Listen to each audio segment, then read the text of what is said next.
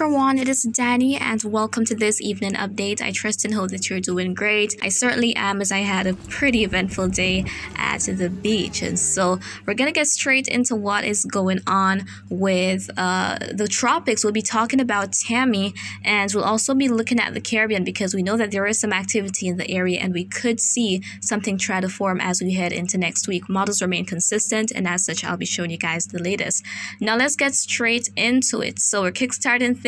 Looking at the Atlantic here, we can see that there is some activity off the African coast, and even as we drift further west, a couple of troughs, one of which is affecting the Lesser Antilles, but uh, there is Tammy out there, and it is interacting with a front, and there's all that activity associated with it. So it is gradually losing its tropical cyclone characteristics and will become post-tropical very, very soon. So let's now go ahead and take a look at the cone forecast from the National Hurricane Center, after which we'll move on to the Caribbean to see what is currently happening and what models are expecting. So as for the cone forecast for Tammy, here we can see that uh, the system is likely to become post-tropical by tomorrow and currently it is sustaining winds up to 100 miles per hour and we can see that there is some slow movement expected of Tammy as we head into this weekend and to early next week. So Bermuda, you might want to be on watch. There could be some tropical storm conditions as we head into this weekend go into what models are expecting on the track guidance here we can see that that there is more of an agreement now with the system making its way up to the north making that curve very close to bermuda and then back out to the northeast. That seems as though it is going to be the path that the system takes. So uh, there isn't as much agreement on the system actually continuing to the west potentially being a problem for uh, the us and other areas. So that is some good news and models also show the system gradually weakening out there as it encounters less conducive conditions. So there we can see them just going down its Cat 2 status right now because it is sustaining those winds at 100 miles per hour, going down to Cat 1, tropical storm, maybe it loitering in tropical storm territory for some time, but eventually it will weaken and dissipate out there. So of course I'll keep you posted on it. And now we're going into the vicinity of the Caribbean. First up, Northern South America and the South Caribbean is very, very active as we can see lots of showers and thunderstorms developing this afternoon, even going to the Lesser Antilles as well. You can let me know what's been happening for you. A lot going on nearby the ABC Islands. Uh, likely some activities through today. You can let me know what's happening there as well.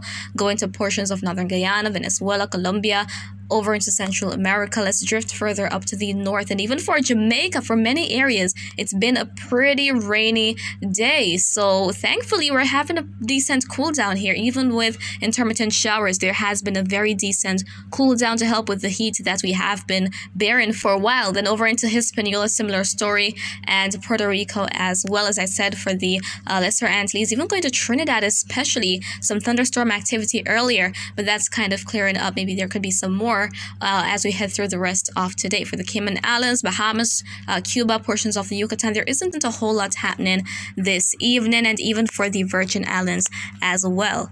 Now, we're going to be taking a look at what models have to show. As I said, there is some consistency with that Caribbean storm that is expected by next week. Let's kickstart things looking at GFS. So the model is showing that possible tropical storm loitering in the vicinity of Cuba, the Bahamas, the Turks and Caicos Islands, and even for Haiti as well. Whereas yesterday it was showing a very strong hurricane in the Caribbean. And GFS does this a lot with our future systems. There is inconsistency with the intensity and where exactly it'll develop. But throughout that uh, general time frame, it is showing something forming. As we head on to the Euro model now, go into the uh, latter part of next week, go into Friday, we can see that there's an increase in moisture across the Caribbean, but nothing defined. We're not seeing those circular squiggly lines or isobars, and they join areas of equal pressure, but we're seeing all those shades of greens and even those little spots of yellows, oranges, indicating all that moisture. So while Euro is not showing something forming, at least not yet, it is it is uh, definitely showing that increase in moisture. Next up, the Canadian model. So it has been expecting that we could see something form as well, showing that we'll have likely tropical storm at the point, uh, at that point based on the pressure to the south of Jamaica. Then as we head into Tuesday, the 31st of next week. So it is showing this for early next week, making its way up to the vicinity of the Cayman Islands and toward Cuba before making that very close approach to Florida and making its way out as it uh, as it interacts with a front.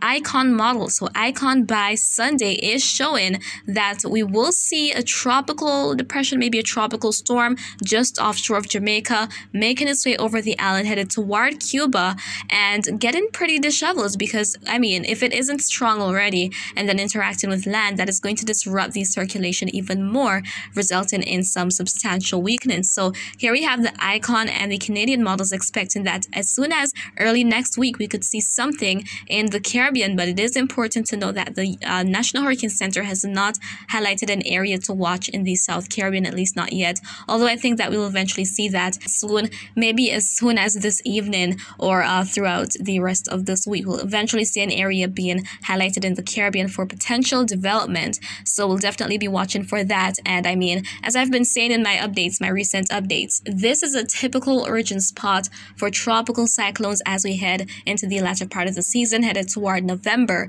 So we'll definitely need to be on watch and keeping in mind that there could be cases of rapid intensification once conditions are favorable enough, once there's all that mid-level moisture and the shear isn't a big deal, and also the system remaining over water because we know there are a lot of Caribbean islands. So if it is uh, interacting too much with land, then more than likely we won't see much become of it.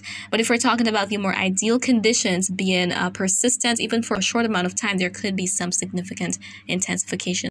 I mean, uh, look at what has happened with even recently Otis over in the Pacific, which made landfall in Mexico as a Cat 5, becoming the strongest hurricane ever to make landfall in the Eastern Pacific, the strongest landfall in hurricane. And the previous record holder was Hurricane Patricia back in 2015.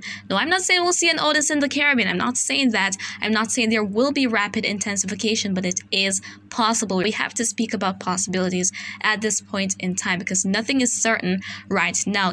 But the trends are there, the models are showing that we will likely see something.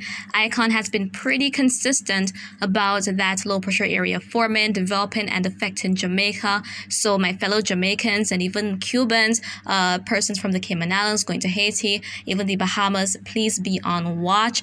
So, uh, the entire Caribbean should be watching what's happening, of course, but more so the Western Caribbean for uh, potential development as we head into next week. And with those very warm waters, that can quickly fuel systems. Going back to Otis again, rapid intensification was not at all expected. The system jumped from a tropical storm to a Cat 5 monster in just around 12 hours only. That's half a day. So it really does not take long for these storms to rapidly intensify once the conditions are just right to allow for that to happen. So I'll keep you guys posted. Again, this is just to keep you informed. I'm not saying that you should be worried about a major hurricane making landfall for Again, nothing is solid, but there are trends that we will likely see development, and I believe that will happen. So that is what I wanted to share with you in this update. Stay tuned for my next one coming tomorrow morning, and I hope you found this video to be quite informative. But if you have any questions, please leave them in the comments. I'll respond to you when I can, and remember to always be weatherwise.